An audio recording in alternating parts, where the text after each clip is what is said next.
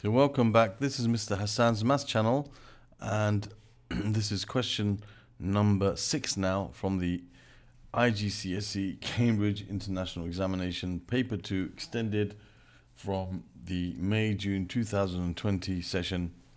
Okay, this is variant two, this is paper two one, um, and this question here is about this trapezium. They've given us a couple of angles in the trapezium, and they've asked us to find the value of x.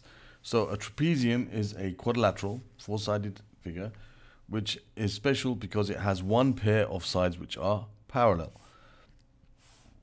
So we can see those are the pair those are the pair of sides which are parallel because of the markings on the lines. And these two angles we can see whenever we're dealing with angles we've got to think about all the different rules that we know we want to find the value of x here. These two angles are related to each other by the fact that these lines are parallel. And we've got to think about the rules that we know for parallel lines and angles. So we have corresponding angles which kind of like make F shapes with each other. You have alternate angles which make like a Z shape with each other. And then you have these kind of angles which are like called interior angles and they make like this kind of C shapes with each other. Okay. Now, with corresponding with the, with these angles which are interior, they are related by the fact that they, they, they are supplementary. They add up to 180 degrees. For corresponding and for interior angles, they, they are uh, sorry, corresponding and alternate angles, they are equal to each other. But for interior angles like this, their sum is 180 degrees. So these two angles will add up to 180 degrees. So that's how we can link those two angles with each other. So if you want to find the value of x, we can say 97 minus 3x plus 69 plus 5x must add up to 180 degrees because they are interior angles. You don't have to write the reasons here, they're not mentioned for you to do, but if you do, it's, it's always more complete. So now we can work out the value of x by solving this equation. So you have 97 plus 69, that's going to be 150 plus 16, that's going to be 166, minus 3x plus 5x, which is plus 2x, is equal to 180.